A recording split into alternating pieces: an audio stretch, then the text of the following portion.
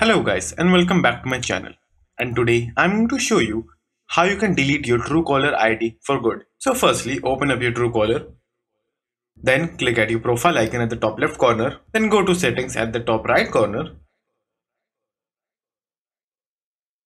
Now scroll down a little bit and there you will find the option called deactivate. So when you click the deactivate button and then if you press yes and if you press yes your Truecaller will be deactivated but it still won't be permanently removed. So let me show you how you can permanently remove your number from Truecaller. So for doing that you need to go to a browser. Go to a browser and search unlist Truecaller. Now open the first link now, if you want to read, you can pause the video and read the details, but let me tell you the gist. If you enter your number over here and then submit and then unlist your number, you will never be able to sign up with the same phone number on Truecaller app ever again. So how can you do it? Click at the box below phone number, then enter your country code.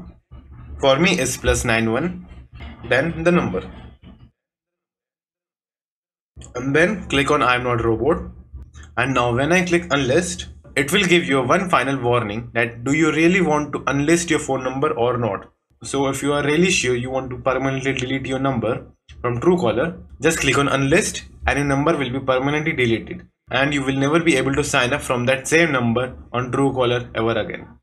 So that's it. Thank you for watching and do like and subscribe to my channel and take care.